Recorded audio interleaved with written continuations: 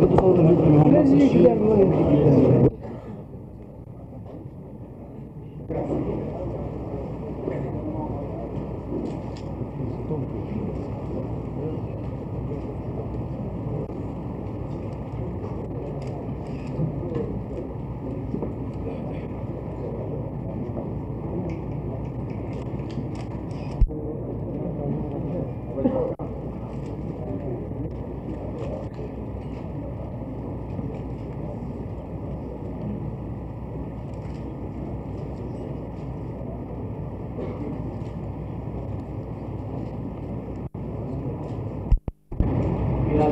الجلسات المتعددة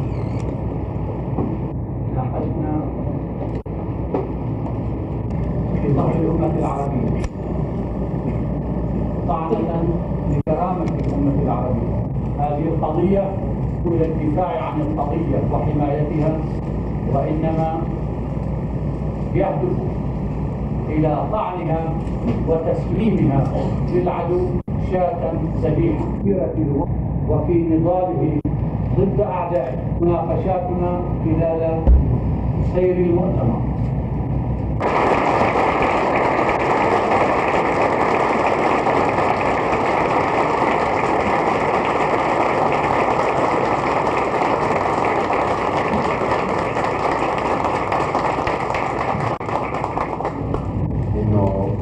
هذا اليوم له عملائها الذين يتكلمون اللغة العربية أو يتكلمون اللغة العبرية في منطقتنا أن تجعلها تسيطر على منطقتنا العربيه.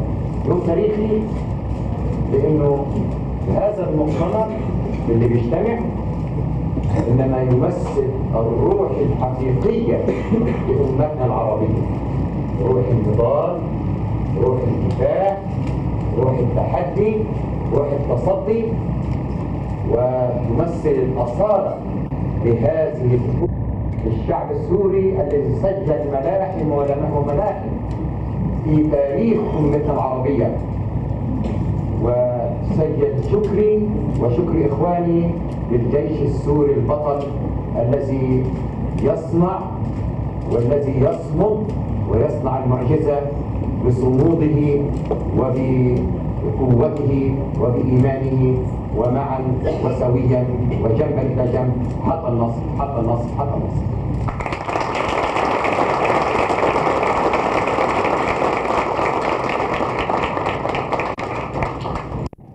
الأخ ياسر عرفات رئيس اللجنة التنفيذية لمنظمة التحرير الفلسطينية والقائد العام لقوات الثورة الفلسطينية.